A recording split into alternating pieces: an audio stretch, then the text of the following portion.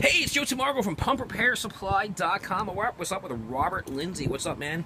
Over in Bayshore, New York, PumpRepairSupply.com. First thing you want to do is hit that subscribe button below. That way you get the latest and greatest. All right, so it's 2015, end of August. We were just uh, went to a party to have a barbecue, and they were like, "Hey, my Hayward Super Pump is making noise."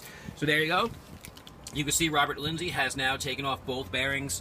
Here are the parts there. We're on working on AstroTurf. So no more dollhouse. Robert has moved up to AstroTurf. So if you need parts for your Hayward Super Pump, check out our other videos. We're up to like 909 videos. Probably this is 910.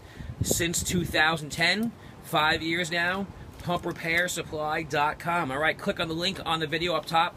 That will take you to the pump repair kit. All right, there's Robert fully disassembled the motor. A lot of people are always like, oh my God, I never see it disassembled. There you go, man. All right, so we'll probably see you back at the house when we're installing it. Uh, Robert is going to now install the bearings, right, man? Yep. All right, we'll show you next video. Peace out.